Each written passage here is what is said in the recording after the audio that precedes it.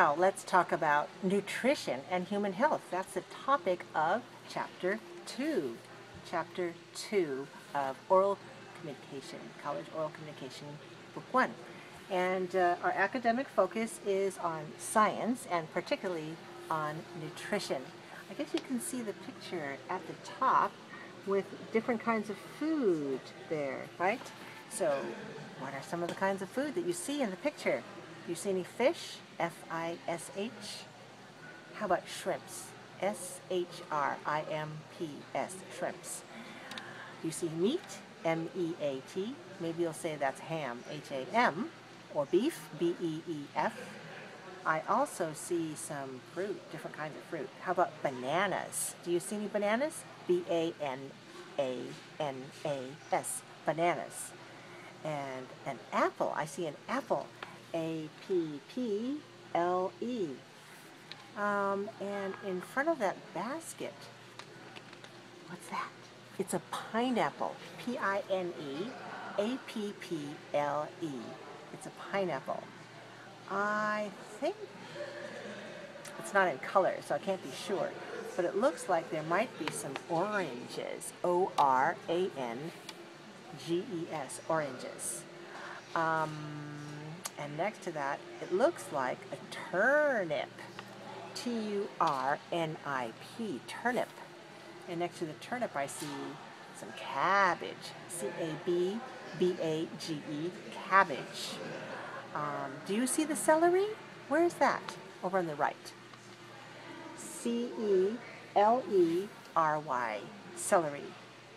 Um, and in the front, do you see any garlic? G-A-R-L-I-C, garlic. Maybe some nuts, N-U-T-S, nuts. And um, it looks like there might be some bread, B-R-E-A-D, bread. I think you're getting hungry now, right? So let's change the subject to the objectives. Let's look at the academic listening and speaking objectives. In this chapter, we'll continue to develop, you will continue to develop your listening and speaking skills as you know your skills as an academic listener and speaker.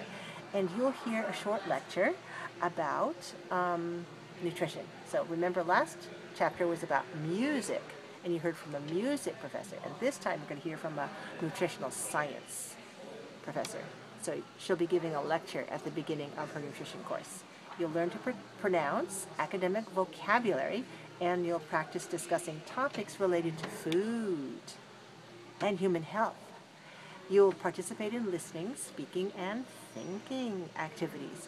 In particular, you'll develop vocabulary and expressions to discuss food, nutrition, and health. You'll use a dictionary to pronounce new words or to learn the pronunciation of words by looking at the pronunciation symbols in your dictionary. You'll hear, identify, and pronounce key vocabulary with proper syllables and word stress. You'll hear, write, and express quantities containing numbers. You'll hear and pronounce plural noun endings with s, z, and is. They're not different. They're the same as the s, z, and is in third person singular present tense verbs. But as you know, you still need a lot more practice with that S ending or ES ending in English because maybe some of you have languages where we don't pronounce that, but in English, very, very common. And we have to find out when to use this Z and is endings. What else? You'll repeat and rephrase information for confirmation or clarification and to enhance comprehensibility. You'll ask questions using how much da da da is there and how many da da da are there. You ask and answer questions about food and nutrition and you'll relate the content of the lecture that you hear to your personal food consumption. You know consumption, that's a noun. The verb is consume. We talk about consuming food and drink. That means to eat and drink. Consume. The person is a consumer and the action is consumption. And you'll take dictation of sentences related to health and nutrition.